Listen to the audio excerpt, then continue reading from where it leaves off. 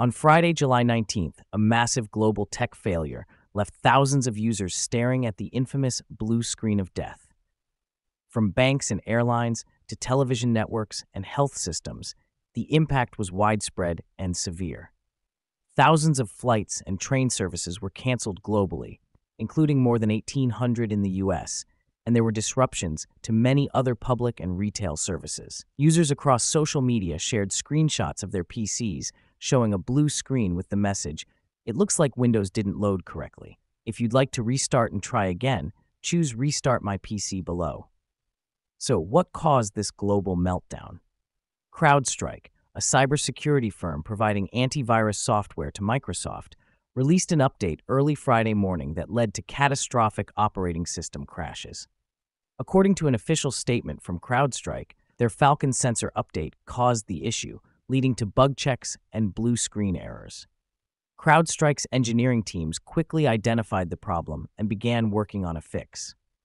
Microsoft confirmed the issue was linked to the CrowdStrike update and assured that mitigation actions were underway. In a statement to CBS News, Microsoft said, Earlier today, a CrowdStrike update was responsible for bringing down a number of IT systems globally. The immediate impact was felt globally. Airports faced long lines as check in systems failed and flights were delayed or canceled.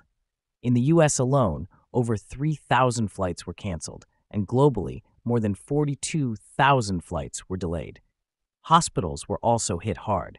Brigham and Women's Hospital in Boston had to cancel surgeries and revert to paper charting, delaying critical medical services. Memorial Sloan Kettering Cancer Center in New York City postponed all procedures requiring anesthesia against issues, and in India, Delhi's primary airport operated manually with gate information updated by hand. The London Stock Exchange and New York Stock Exchange reported minor disruptions, but trading continued. Starbucks and FedEx also faced issues, with Starbucks mobile ordering features affected and FedEx activating contingency plans for potential delivery delays. CrowdStrike CEO George Kurtz apologized for the disruption and promised full transparency. The company stated that a fix had been implemented, but many systems required manual intervention to recover fully.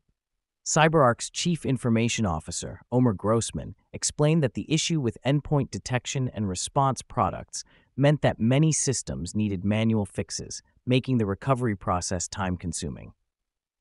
CrowdStrike acknowledged that some systems may not fully recover and that they were working individually with customers to ensure full operational restoration. This incident underscores the fragility of our interconnected world and the critical role of cybersecurity.